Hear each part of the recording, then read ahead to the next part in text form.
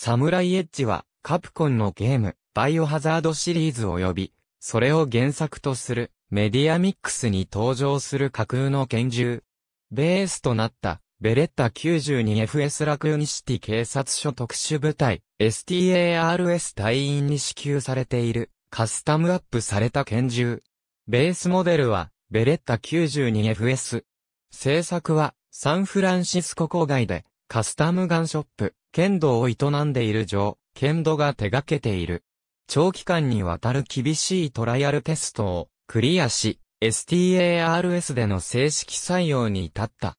STARS が壊滅し、さらに、ラクーンシティの消滅で、剣度もなくなったが、性能の高さは、後年も注目され、対バイオテロ部隊として発足した、ブザにて、後継銃が製作される。使用する弾薬から各パーツに至るまで、RPD が提示した、様々な性能の要求をクリアするために一丁ずつ、吟味されたパーツを使用して製作されている。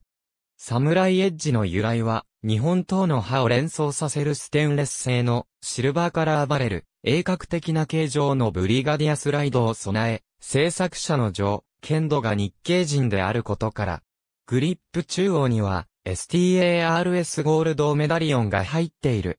サムライエッジのテスト運用を行ったクリス・レッドフィールド、ジル・バレンタイン、バリー・バートン、アルバート・ウェスカーの4名の隊員は正式採用後に、さらなるカスタムを加えた、オリジナルモデルを使用している。この4つのカスタムモデルのスライドには、特別に、剣度の刻印がされている。エアガンメーカーの東京丸いから、スタンダードモデルが18歳以上向け、ガスブローバックモデルとして、通常販売されているほか、ジルクリスバリーアルバート仕様のカスタムモデルも、ガスブローバックモデルとして限定発売されている。また、2017年2月24日より、アルバートモデルの01パフォーマンスも通常、販売されている。ありがとうございます。